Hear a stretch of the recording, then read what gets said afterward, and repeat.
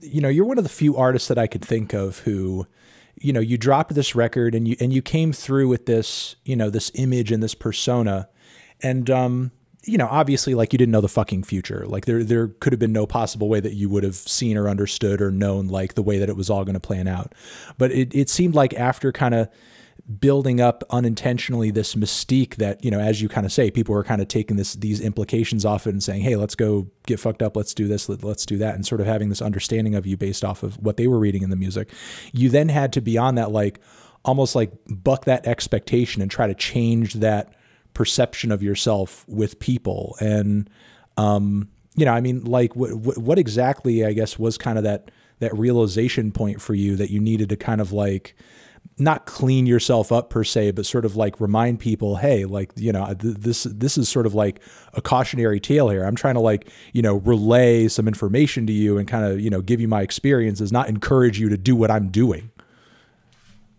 I don't know, cause um, I don't think nothing to be hmm. like nothing really like. I had like a real bad situation with lean, and I was like fucked up. And you know, I got off that shit. But it's like um, you know, like even I don't know, man. Everybody has their vices, you know, mm. sometimes. So I'm not gonna see here like because a lot of people the craziest shit is with the You Know What I'm Saying album, and everybody was like, "Oh, Danny Brown's so clean and all this stuff." That was the most fucked up time of my life. if I want to be honest with y'all, I was fucked up then. Like now, me moving to Texas now, I'm getting a little more healthier now and shit. But yeah, man. So you you know people have their own personal problems and shit like that. You know that's all. Mm. But I don't know. Like I say, you say something that happened that made me. I mean, I mean the Mac Miller thing definitely hit me really hard because he, you know, me and Mac Miller had our little things, you know, back in the day. But you know, through you know mutual friends, Schoolboy Q, you know, we got cool and stuff. And then um, like right before, I remember one day um, I was at the, I was in L.A. and I was leaving, and my flight got canceled.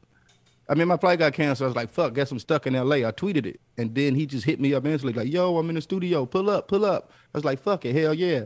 Um, so I got me a hotel room. I get to the hotel room, you know, put my shit down, get an Uber, go straight to the studio. I get to the studio, and he just got me outside knocking on the door for like a half an hour or some shit. So I was like, fuck that shit. So I just got in the Uber and left back, went to the hotel room. So I was pissed. I was like, fuck Mac Miller at that time. I wasn't fucking with him. You know what I'm saying? Like, man, cuz made me pull up to the studio, answer the door. But then he ended up calling me that night, like, my bad, I was making the beat. It was too loud. I didn't hear the door. You know, he probably was doing whatever. But then um, like right, like the literally, like um, he had hit me up and he was just like the week of when he passed, and he was like, Man, you know, do we got any problems? We cool, you know, we squashed everything, it's cool. He's like, man, you should come out to LA, make music. And the day I was supposed to go out there is the day he died. Hmm. And the only reason that I didn't go out there is because I was in the car when they announced it. So it was just like, fuck, you know. So I think yeah, that was a, definitely a cautionary tale for me because every time I feel like stuff is going a little too far, I think about him. Yeah.